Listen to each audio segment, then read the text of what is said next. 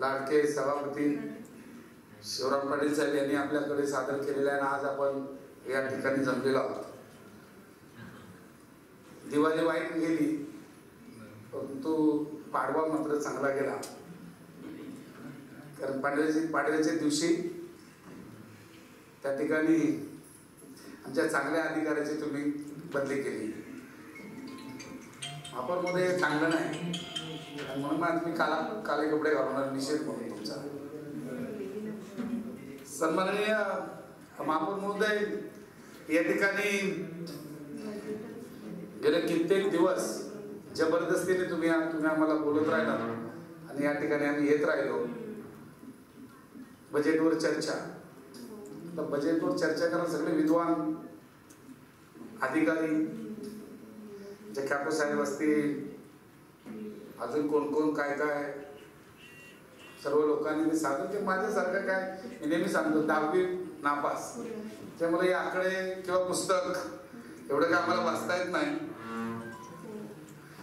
परंतु एक वर्षामध्ये त्या मुंडे नावाच्या अधिकाऱ्यांनी किती छल्ल लोकांना त्याच्यावर एक छोटीशी कविता त्या ठिकाणी मी लिहून आणलेली आहे.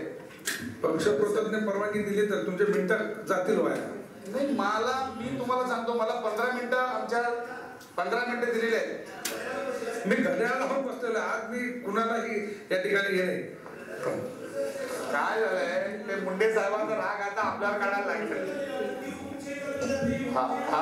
हा, चला. बोला. तसे ते वागणार नाही. तुम्ही बजेटवर बोला. मी बजेटवरच बोलणार आहे. कविता काही बजेटवर होत नाही. परंतु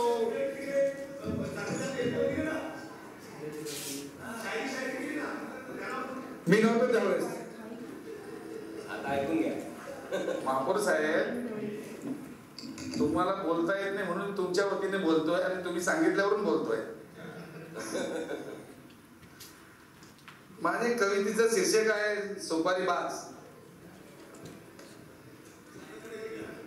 कवितेचं शीर्षक आहे सुपारी बाज सुपारीचा खांडी न खाणारा तू पण पक्की सुपारी घेऊन तू नविंबीला आला होतास. पहिल्या दिवसापासून धरीत राहिलास नेम आणि करीत राहिलास गेम पहिल्या दिवसापासून धरीत राहिलास नेम आणि करीत राहिलास गेम पण तरी तुला आम्ही सुपारीबाज बिपारीबाज असे कधीच बोललो नाही. कारण ज्यांना काम धंदा नव्हता ते रिकाम टेकडे आमचे त्यांना तोंड दिसायचे आणि ते आम्हाला कदा कदा असायचे जे रिकाम टेकडे होते ते आम्हाला नेहमीच खदाखदा असायचे आणि म्हणून या ठिकाणी बिचारे नगरसेवक पदाधिकारी त्यांचे ते आसन सतत गदा गदा हलवीत राहिलास आणि हा हा हसत राहिलास लंकेच्या रावणासारखा. हा हा हसत राहिलास लंकेच्या रावणासारखा. तरी आम्ही तुला कधी रावण किंवा भिवन काही बोललो नाही. कारण बोललो तर आमचे तोंड दिसायचे आणि ते रिकाम टेकडे आम्हालाच खदा खदा असायचे. अँटी चेंबरमध्ये कुणा महिलाशी बोलण्याच्या नादात? अँटी चेंबरमध्ये कुणा महिलेच्या बोलायच्या नादात? आमच्या ताईला मात्र चक्क तासभर कार्यालय बाहेर बसवलंच आणि घोर अन्याय केलास आमच्या ताईचा. तरी आम्ही तुझ्यावर संशय विषय कधी घेतला नाही.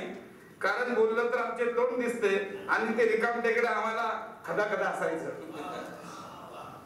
आंटी चेंबरमध्ये कुणा महिलेशी बोलण्याच्या नादात आमच्या ताईंना मात्र चक्क तासभर कार्यालय बाहेर बसविलं आणि घोर आणण्या केला आमच्या ताईचा. तरी आम्ही तुझ्यावर संशय विषय घेतला नाही. कारण बोललं तर आमचे तोंड दिसायचे आणि ते रिकाम टेकडे आम्हालाच खदा खदा असायचे.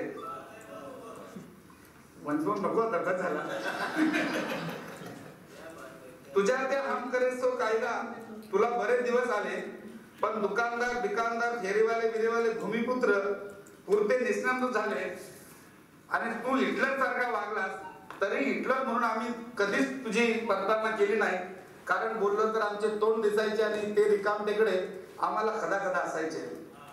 बाबासाहेबांचे स्मारक तुझ्या डोळ्यात खुपले. डोंबावर मार्बल नको रंग नाव्यांचा तू हेकात घेतलास आणि आमच्या भावना पायदली तुडवल्याचा ठेका घेतलास. बाबासाहेबांची आम्ही मुले. संविधानावर आमचा विश्वास. म्हणून तुला कधी काही बोललो नाही. आणि कधी आमचेच भाऊबंद गरज साहेब आमचेच भाऊबंद आमच्यावर रुसायचे.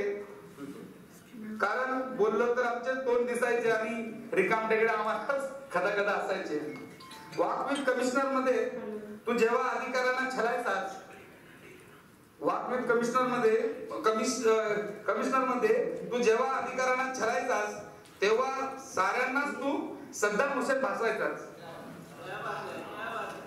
तुझ्या बाल आत्ता पायी पहाटे पाच वाजता घर सोडताना सारे अधिकारी देवाला नवस करायचे आणि साहेबांना लवकर प्रमोशन द्या असे म्हणायचे. चव्हाण साहेब बरोबर आहे. ते चुकीचं अजिबात बोलत नाही. वाकवीत कमिशनरमध्ये तू जेव्हा अधिकाऱ्यांना छलायचास तेव्हा साऱ्यांनाच तू सद्दाम हुसेन भासवायचास तुझ्या बाल अट्टापायी पहाटे पाच वाजता घर सोडताना सारे अधिकारी देवाला नवस करायचे आणि साहेबांना लवकर प्रमोशन द्या असे म्हणायचे. घरी आलास तरी तीच तरा असायची. स्वतःची बायको मुलेही आली कटकट म्हणायची. नवीन मीचा नोकर तू सतत मस्तवाल मालकासारखा वागलास तरी आम्ही काही बोललो नाही. कारण बोललो तर आमचे तोंड दिसायचे आणि ते रिका रिकाम टेकडे आम्हाला खदा खदा असायचे. महापौर बिचारे महापौर. यशवंत गुणवंत कीर्तिवंत या नगराचे प्रथम नागरिक.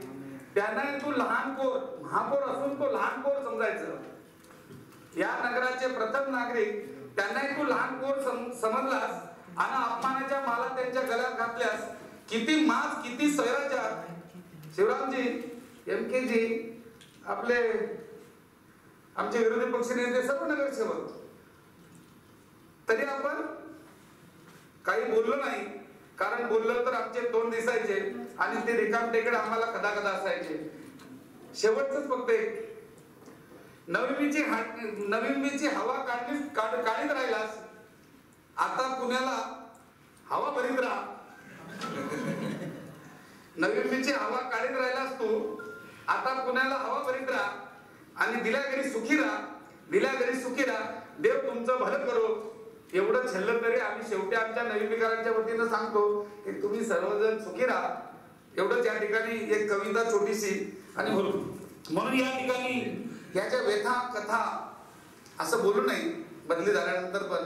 पण रावलं म्हणून रावलं नाही म्हणून या ठिकाणी माझ्या दोन शब्द या कवितेच्या माध्यमातून मांडण्याचा प्रयत्न केला. या ठिकाणी महापौर महोदय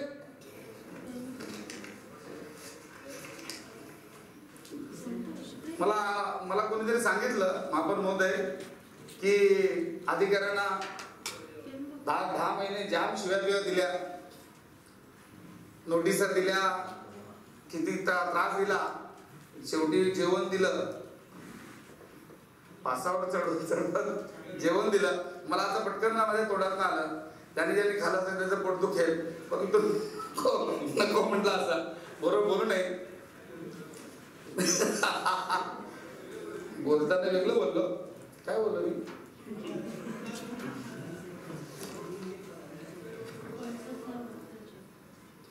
तोपेची तोंडी मला द्या. तुम्ही गप्प बसा. महापौर महोदय या ठिकाणी हा जो बजेट आहे हा बजेट वास्तववादी नाही आहे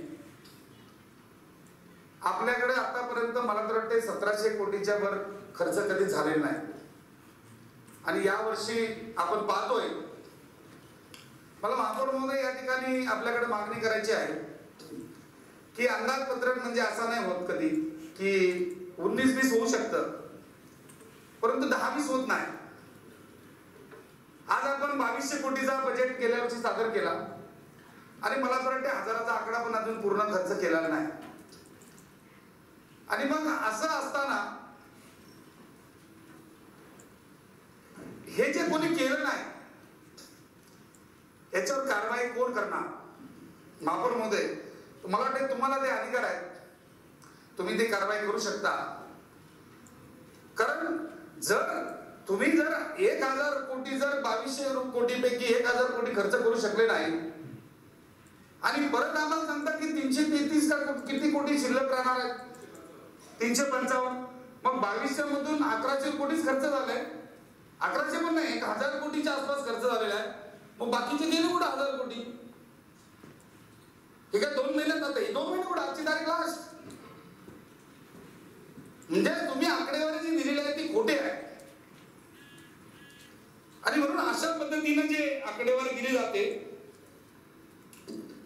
काय ते पारदर्शकतापणा आयुक्त महोदयांचा गेले ते स्वतःकडे भरपूर अधिकारी कर्मचारी अख्खा स्टाफ आणि महापौरांचा पीए पण काढून घेतला. किती पारदर्शकता. ते पत्तीवार चांगले होते त्यासाठी मी बोलत नाही पण पत्तीवारला मूल पदार आणलं. आणि त्या कैलास गायकवाडला डॉक्टर डेप्युटी कमिशनर अतिक्रमण बनवलं. किती पारदर्शकता. त्या बालकृष्ण पाटील यांची काही चूक नसताना त्याला सस्पेंड केलं. आणि ज्याने पंधरा हजार खाल्ले होते त्याला प्रमोशन दिलं. पण किती पारदर्शकता आहे? जे आपल्याला वाटेल तसं करायचं. नवीन आयुक्तांनी हे बघितलं पाहिजे. हे पारदर्शकता वगैरे जे चाललेलं आहे कारभार दाखवलं ते बरोबर नाही. आणि म्हणून या ठिकाणी मला आपल्याला या ठिकाणी सांगायचं आहे की हा जो बजेट आहे महापौर महोदय आपण आता लास्ट आकडेवारी सभापती आणि तुम्ही बसून किंवा गटनेते बसून कराल. फसवा अर्थसंकल्प करू नका लोकांची फसवणूक करू नका. आणि दुसरी माझी अशी विनंती आहे की हे बजेट झालं आणि तुम्ही यादी जोडलेली आहे ती यादी प्रशासकीय मंजुरी का? हे या ठिकाणी जाहीर करावं. कारण जर ती जर प्रशासकीय यादी जर असेल तर मग परत येणार नाही महापालिकेमध्ये महासभेमध्ये. ती देखील आपण त्या ठिकाणी त्या ठिकाणी ते बघितलं पाहिजे. दुसरी गोष्ट हा बजेट का झालं नाही? ह्याच्या जर मुलाखाली गेलो तर आपण कोण अधिकार येतो मला तर वाटते कितीतरी अधिकाऱ्यांना नोटिसा दिल्या. काही लोकांना जबरदस्ती घरी जायला लावलं. काही लोकांना सस्पेंड केलं. तीनशेच्या वर काहीतरी लोकांना नोटीस दिलेल्या आहेत. आणि म्हणून असं असेल तर ते काम कसे करतील लोक? आणि म्हणून लोक आपले ज्या अधिकारी आहेत त्या अधिकारी त्या ठिकाणी आपल्या त्या कामावर त्या ठिकाणी ठेवलं पाहिजे. आणि म्हणून आपण ज्या पद्धतीने मला तर रणसोलीच्या आमच्या ताई या ठिकाणी आहेत. घनसोली हस्तांतर केलं. चांगली गोष्ट आहे. परंतु ते सिडकोचे अधिकारी बोलले की आम्ही याला फसवलं. मी शब्द वापरत नाही. जवळपास हजार एक कोटी रुपये त्या ठिकाणी खर्च करायला लागणार आहे तरी बहात्तर कोटी रुपये घेऊन या आयुक्त साहेब पाठ टोपून आले. मी फार वाईट शब्द वापरणार होतो पण नको म्हणून. चव्हाण साहेब आपण कुठली गोष्ट घेत असताना ती गोष्ट आपण करणार आहोत.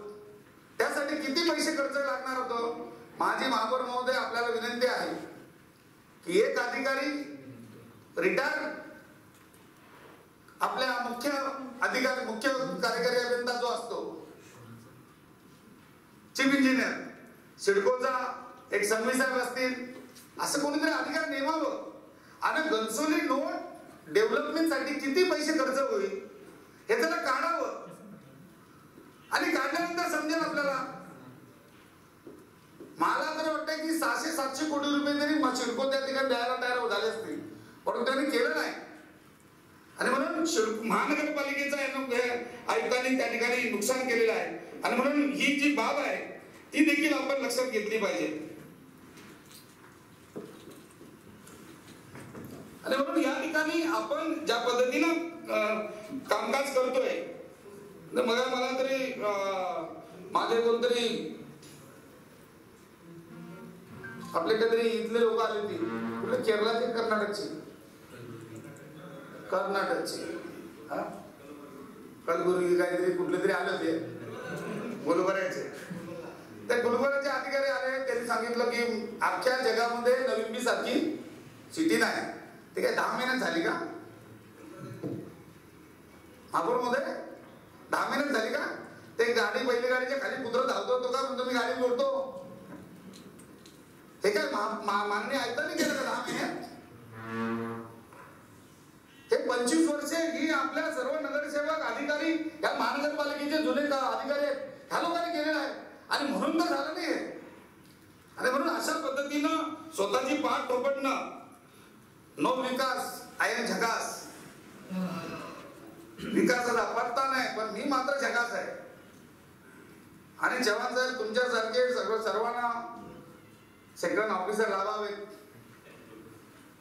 आपले वाघ साहेबांसारखे शिंदे साहेबांसारखे ते आपले गरड काय? गरुड गरड ना? गरुड साहेब. नावच गरुड म्हणजे काय ते गरडच शब्द. गरडच बरोबर आहे. गरुड नाही गरडच शब्द बरोबर आहे.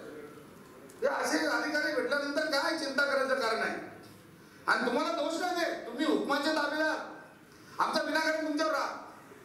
कारण त्याच्यावर पोचत नव्हतं आमचं. तर काहीतरी अर्थ काढू नका. म्हणजे बाबा रे आमचं तिथपर्यंत तिथे राहता येत नव्हतं. आम्ही उगीच कुत्र्याचा काटा माजरावर. आयुक्तांनी यांना खराब करायला घेतलं होतं. पण बरं लवकर गेले नाहीतर हे खराब झालेच ते. अतिशय चांगल्या पद्धतीनं तुम्ही त्यांना सपोर्ट केला. आता तुमची जबाबदारी संपलेली आहे तिकडची. नाहीतर तुम्हाला ते गाड्या धुवायला नेतील उगीच वाट लावून टाकतील. जाऊ नका तिकडे. आणि अशा पद्धतीनं ज्या पद्धतीनं काम करतायत आणि म्हणून मला असं वाटतं महापौर महोदय या ठिकाणी आपल्याला कधी लक्षात घेतलं पाहिजे की एकशे एकशे काय अकरा लोकांपैकी एकशे पाच शहाणे लोकांनी एकशे अकरा पैकी एकशे पाच शहाणे लोकांनी. याचा अर्थ तुम्ही शहाणे नाही असं म्हटलं नाही. तुम्ही अति शहाणे आहात. आम्ही वेळ झालो. आणि म्हणून आम्ही ऑफिसवर प्रस्ताव दाखल केला. एक पोलीस गंगाधरची गोष्ट सांगतो तुम्हाला. तुम्ही पण ऐका. की पोलीस गंगाधर एक बेडूक होता बेडूक. हा? मी आता मुख्यमंत्र्यांना म्हणणार नाही की ते आहे म्हणून. सन्मान्य भोयर साहेब तुमची वेळ संपत झाली तुम्ही बेल वाजवत नाही त्यांना. ऐका ना जरा. मी पाच मिनिटं जरा मला मी बजेट बोलणार नाही. तुम्हाला बजेट देणार बोलायला कारण तुम्ही अभ्यासू आहे. वेळ राहिला तर बोलतील ना. लागली सवय लगेच जुनी. मला वाटलं काय काय फरक लगेच पडला का? बघा सभागृहाने मंजुरी दिली सकाळी. मी पंचेचाळीस मिनिटं आमच्याकडे आहे. जास्त हुशार करायचे नाही. चाळीस मिनिटं होते जेव्हा तुम्ही सुरू केलं. हा. पक्षप्रमुख कशात बोलणार आहे? झिरो आवर मध्ये माझे माझे फक्ताला पाच मिनिटं झालेले हा. बोला. ते पोलीस एक गोष्ट आहे की जे माझे शत्रू आहेत त्यांना मारण्यासाठी कोणाला तरी घेऊन गेलं पाहिजे. आणि म्हणून या मुंडे नावाच्या आजगराला घेऊन गेले. तो पोलीस गंगाधरचं नाव बेडूक तो बेडकाचा राजा. तर आज याला मार त्याला उद्या त्याला मार हा दुश्मन आहे तो दुश्मन आहे नामदेव भगत हा झाला तो झाला शिवराम पांडे झाला सगळं झाले. सगळ्यांना खाऊ टाकलं. सर्व मारून टाकले. आणि एकटा वाढला आता तो तुझं करतो. मुंडेंनी कसं केलं ते आपल्या अतिक्रमणच्या याच्यात? बरोबर आहे? त्याच्या विरुद्ध ती याचिकेच्या विरुद्ध स्टेटमेंट केली. तेव्हा त्याला समजलं आता हा माझे पण बाप झाला. आणि म्हणून म्हणून त्याला वाटलं बाबा याला जाऊ द्या आता याची बदली करून टाकावी. तसं त्या अजगरला काम तसं झालेलं आहे. आणि म्हणून अशा पद्धतीनं जी वागणूक आहे ती वागणूक अशी असू नये. पंच्याण्णव टक्के त्यांचं चांगलं काम होतं पाच टक्के जर आमचं ऐकलं असतं. तर किती चांगलं झालं असतं? अशी परिस्थिती आली असती का? ज्या खात्यावर पैसे नाही. त्याची टायरची हवा गेलेली आहे. त्याचा दरवाजा तुटलेला आहे. ज्याला कंडक्टर कधी नाही कधी ड्रायव्हर नाही अशा परिस्थितीमध्ये एवढ्या मोठ्या माणसाला तिकडं पाठवणं पहिले ते आहे मुख्यमंत्र्यांना वाटलं आभार चांगला आहे. नंतर लक्षात आलं. की याची ही जागा नाही. तिची ती जागा आहे. आणि म्हणून अशा पद्धतीनं कधी देखील नवमीची लोक किती चांगले आहेत. कोणी फटाके वाजवले नाही. इथं फटाके वाजवले म्हणून तिथं फटाक्याचे पैसे पाठवले आणि पुण्यात फटाके वाजवून घेतले. किती चांगला आहे स्वागत आहे स्वागत आहे. दहा पाहिजे भात घे मला पाठल म्हण. किताबे अशा पद्धतीनं ते कामकाज केलेलं आहे. म्हणून या ठिकाणी माझी महापौर साहेब तुम्हाला एक विनंती आहे. एकवीस बोलले जेवढं जेवढं छल्लेलं आपल्याला तुम्हाला वाईट सवय गेल्याला पण तशी होती. जेव्हा आयुक्तांच्या विरुद्ध ते असताना बोलायला लागलो बोला भगत साहेब बोला भगत साहेब बोला भगत साहेब. मी नाही बोललो. आता काय झालं? लगेच का- बदलली. तुमच्यावर बोलू का मग मी आता? कविता बोलली ना तुम्ही आता कसं? तुमच्यावर बोलू का दुसरं. तेव्हा मात्र असं इथं वाघ आणि तिकडे त्या त्या दिवशी जवळ होतो तेव्हा वाघ. वाघाचं काय झालं दात पाडले. ते आपले फॉरेन मध्ये कुठले ते वाघ आहेत अंगावर लोकतात ते. तुमच्या अंगावर लोळवलं तेव्हा आम्ही होतो बाजूला. का असे वागता तुम्ही?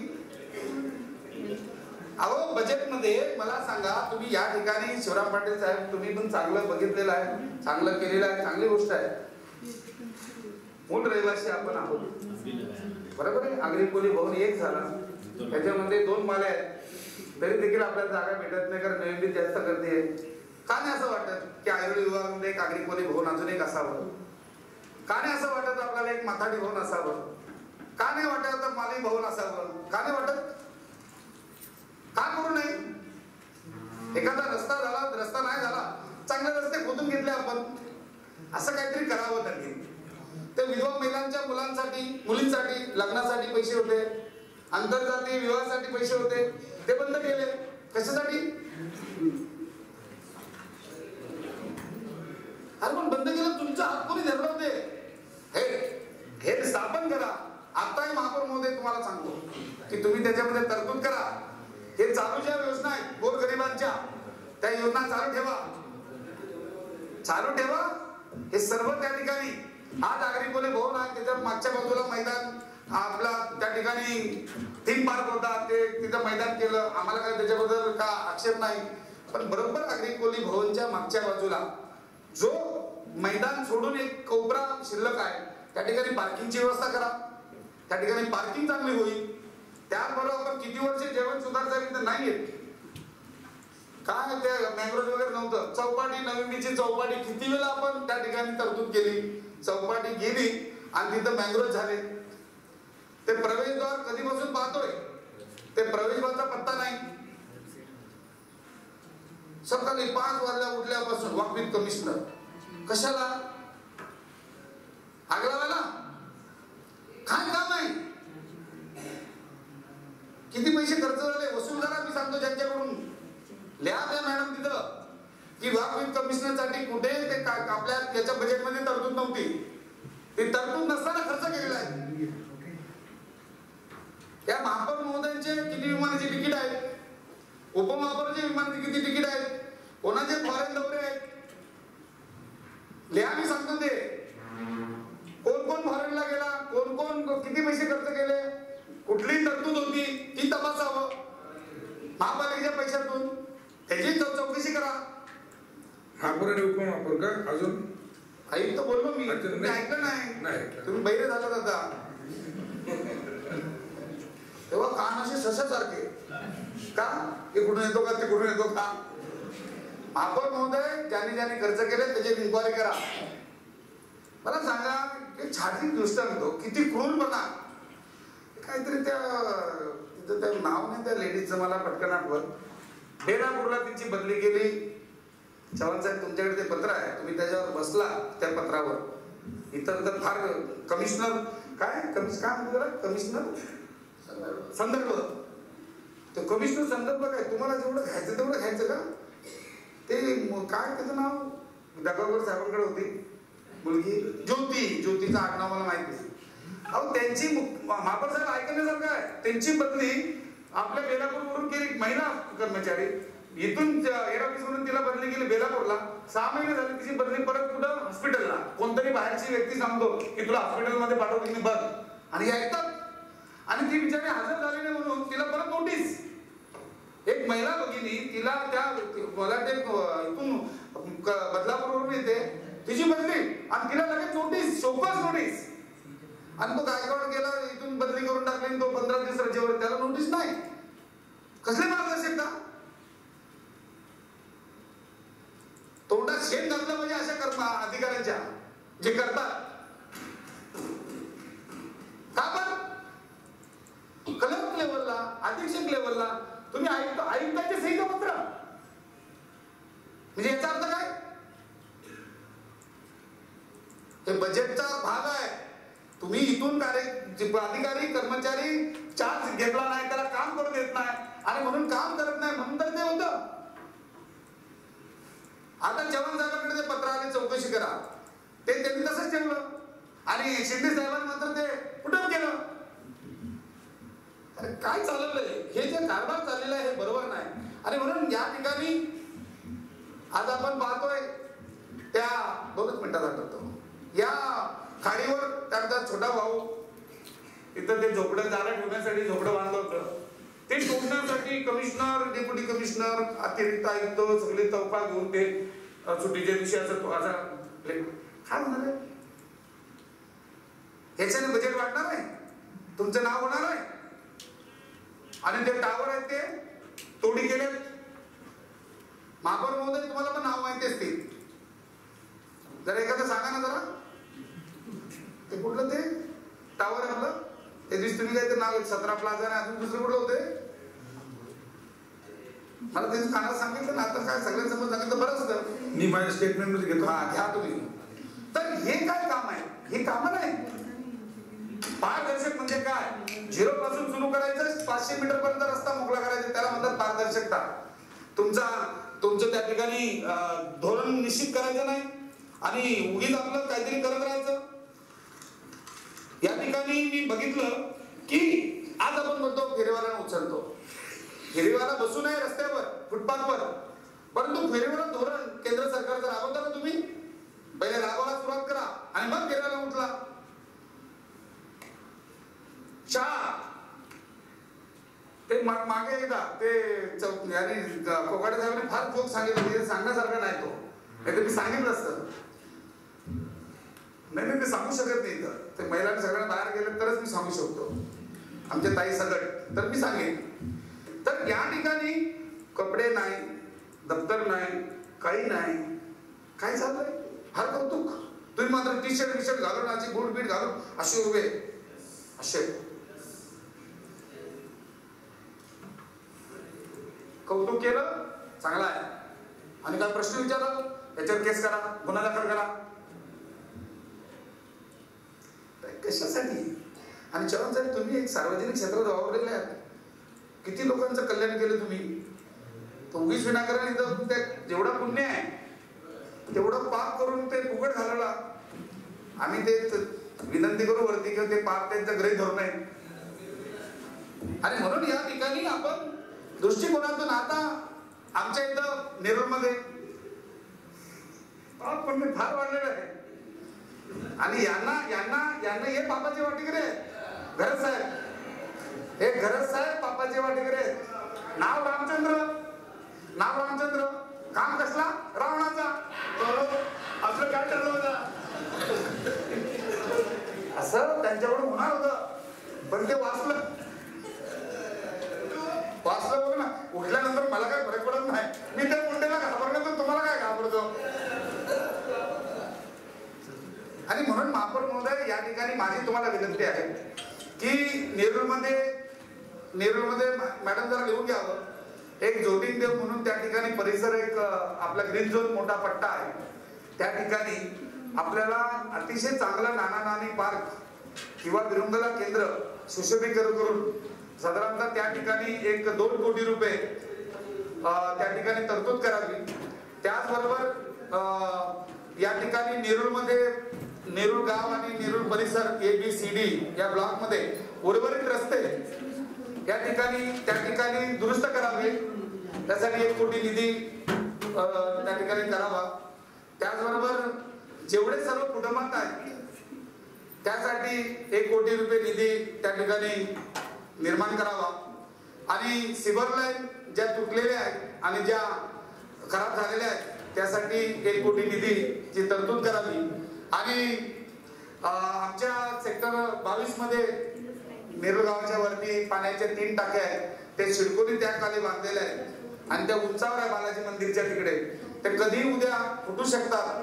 आणि म्हणून त्या ठिकाणी टप्प्याटप्प्याने वर्षा वर्षाने असे तिन्ही टाके पुढचे तीन वर्ष त्या त्या ठिकाणी बांधण्यात याव्या त्या मला तर वाटते त्यासाठी देखील पाच कोटी रुपये निधी आपण करावा.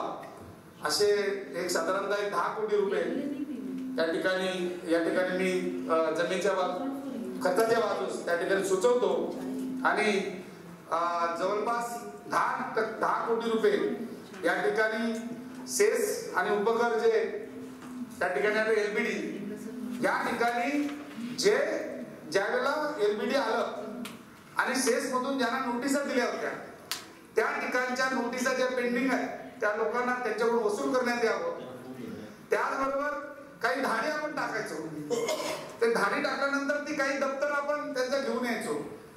ते दप्तर आणलेली त्याच्यावर स्कुटणी करावी. त्याच्यातून कोट्यावधी रुपयाचा त्या ठिकाणी निधी जमा होईल.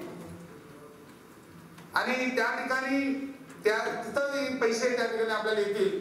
आणि म्हणून प्रॉपर्टी टॅक्सच्या माध्यमातून आणि ह्या शेअरच्या माध्यमातून किंवा एलबीडीच्या माध्यमातून दहा कोटी रुपये त्या बजेटमध्ये जमिनीच्या बाजून त्या ठिकाणी वाढवावे.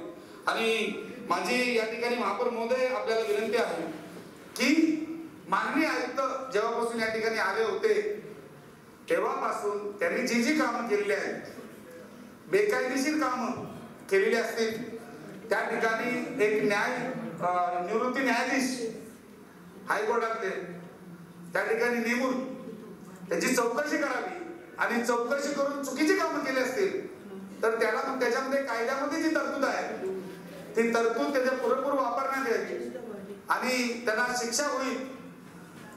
आणि चांगलं काम केलं असेल तर त्यांचं त्या ठिकाणी कौतुक करावं. परंतु मला असं वाटत की त्यांना ती संधी प्राप्त होईल.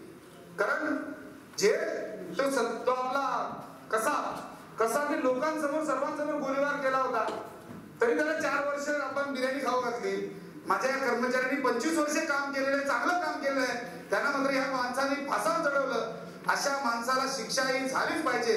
आणि म्हणून या ठिकाणी आपण जर नाही केलं खरं सांगतो तुम्हाला मी की ज्याने पंचवीस वर्ष या महानगरपालिकेमध्ये ज्या परिस्थितीमध्ये आता आपल्याकडे पैसे महानगरपालिका जेव्हा निर्माण झाली तेव्हा एक रुपया नव्हता अशा अधिकाऱ्यांनी त्या ठिकाणी कमीत कमी पगारात काम केलेलं आहे. आणि अशा डगावकर सारखा माणूस आज कितीतरी वर्ष त्या ठिकाणी काम करतोय. दररोज दररोज पुढचं बोलत नाही मी. जसं डीपी मध्ये जसं पोलीस लोक रात्र झाली की ते आरोपी बिचारे घाबरायचे की सोमवारी गेल्यानंतर काय बोलणार? किती मारणार? मला तर असं ऐकायला कानावर की वाट लावून टाकेल तुझा संसार उद्ध्वस्त करेल जेल मध्ये टाकेल पोरबाला रस्त्यावर नाही कोण तू रे?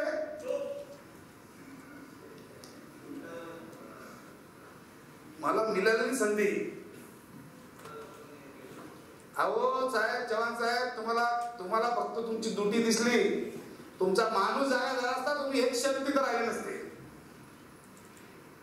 ते आमचे शिंदे साहेब दोन दोन खाते काय? एक जगात नाका?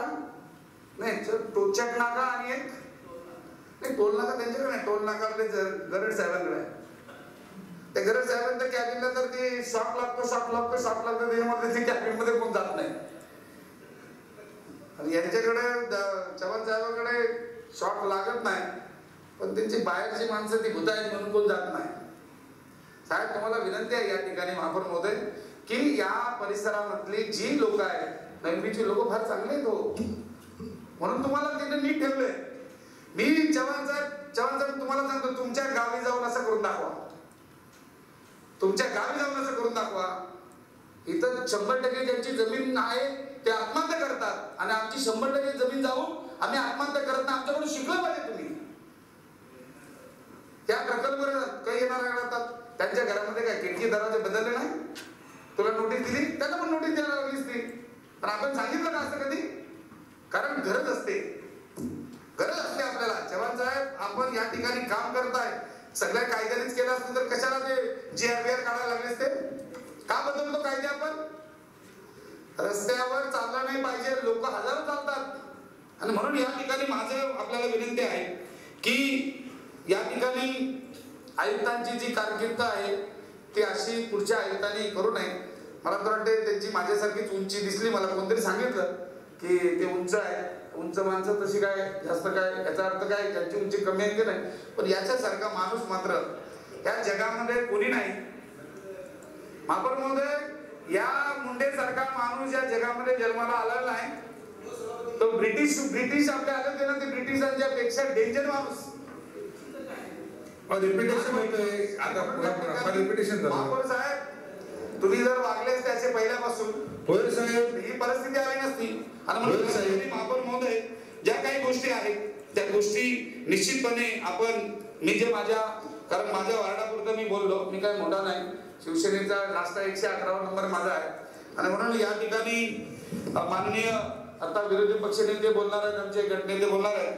कारण अ, पुस्तकात भरपूर बोलायचं होतं. पण पुस्तक तुम्ही तुम्हाला माहिती आहे गेल्या वर्षी तुमची सवय होती ती मला माहिती होती. पण पुढच्या वर्षी ती चूक करणार नाही मी. पहिलेच बोलणार आहे. आणि म्हणून या ठिकाणी मला बोलण्याची संधी दिली त्याबद्दल धन्यवाद. माझं काही चुकीचं असेल ते काढून टाकावं परंतु जे खरं आहे ते तुम्ही निश्चितपणे त्या ठिकाणी त्याची कारवाई करावी. एवढंच या ठिकाणी बोलतो जय हिंद जय महाराष्ट्र.